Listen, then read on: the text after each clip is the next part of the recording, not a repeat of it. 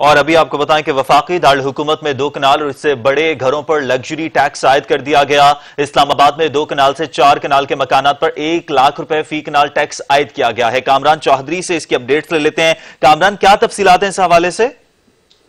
जी, बिल्कुल काशिफ, कल जो बजट पेश किया है, उसके असरात आना शुरू हो गए हैं और वफाकी दारकूमत इस्लामाबाद में जो है वो दो कनाल और उसके बड़े घरों पर लग्जरी टैक्स आयद कर दिया गया है, जबकि दो कनाल से चार कनाल के मकानात पर एक लाख रुपए फ़ी टैक्स, फ़ी कनाल जो है वो टैक्स आयद किया गया है। इस्लामाबाद में चार कनाल और इससे जायद के फार्म हाउसेज पर भी लग्जरी टैक्स आयद कर दिया गया है।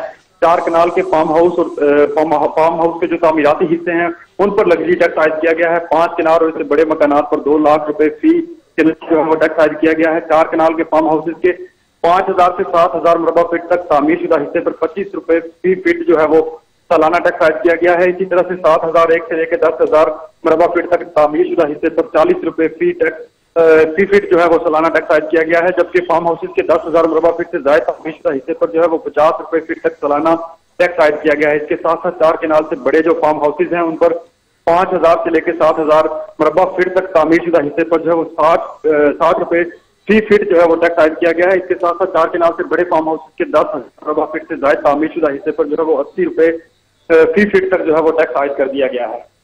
कामरान अपडेट करने के लिए आपका शुक्रिया।